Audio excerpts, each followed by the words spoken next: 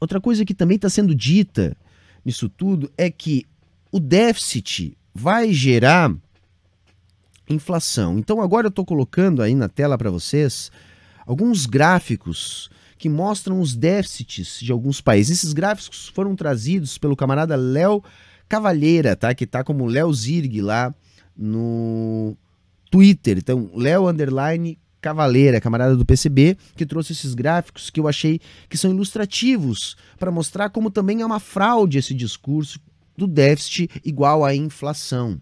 Aí você tem ali em roxinho, mais ou menos, marrom, sei lá o que, que é aquilo, a relação de déficit e superávit ao longo do tempo nos Estados Unidos. Em azul, a gente tem na Alemanha.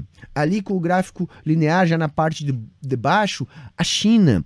E também ali no cantinho, o Canadá. Vocês podem perceber que esses países raramente conseguem, tá? Raramente conseguem ter superávites.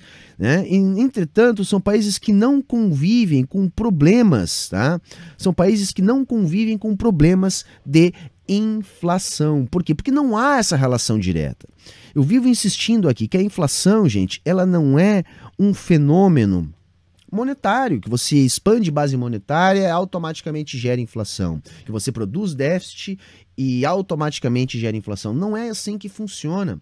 A inflação ela depende de questões estruturais, dos chamados gargalos estruturais, de uma demanda aquecida, de déficit de moeda externa, ou seja, você não conseguir equilibrar contas externas ou ter uma demanda interna muito alta, você começa a ter dificuldades de ajustar a oferta ao nível de demanda. É nesse sentido que a gente pode ter inflação.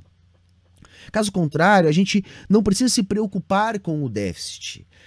A gente tem que pensar no orçamento público de maneira funcional. A gente não precisa ter uma meta de déficit ou superávit. A gente tem que ter meta de indicadores de emprego, de desenvolvimento, de crescimento da economia. Aí sim a gente pode trabalhar com esse déficit sendo ampliado ou reduzido circunstancialmente de acordo com os demais indicadores econômicos. Senão, o nosso orçamento começa a ficar absolutamente disfuncional, gente. Então é por isso que a gente tem que insistir nesse discurso e desmistificar junto à classe trabalhadora essa chantagem que o mercado vem fazendo.